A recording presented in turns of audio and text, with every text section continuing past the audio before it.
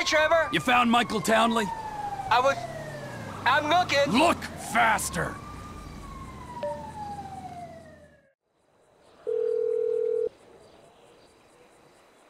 Boss, I really feel we're close to a breakthrough, Ron.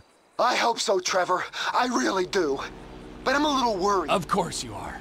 I mean, we've been here before, on the cusp of a big deal. Then, well, Well, what, Ron?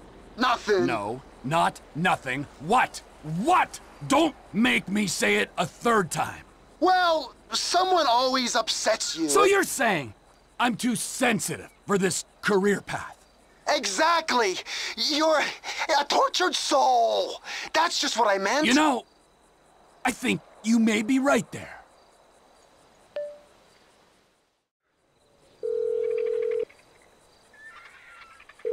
Trevor? Michael Townley, where is he? Um, uh, I don't know. Where? Find him, you idiot! Oh my god, this is so unbelievable. My life is gonna change, I know. Trevor, you called? No shit! What's happening? My ex-wife called me again. Man, there's nothing worse in this world than an ex-wife. A perpetual reminder of life's mistakes. A dreadful mistake. She's thinking of suing me again. For what?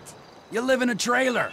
She heard my radio show. If she heard your radio show, she should pity you, not sue you. That's nice, Trevor. No, Ron, it's not. It's unkind, but it's also true. Your ex-wife was a bitch. I did you the favor of a lifetime when I scared her off. You did. You really did. If after 12 years of happy marriage, one simple threat of dismemberment was enough to send her running, well, I don't know. And she was having an affair. We proved that. You're right, Trevor. She wasn't committed enough. Exactly, Ron. Now get back to fucking work, all right? What are you yabbing at me for?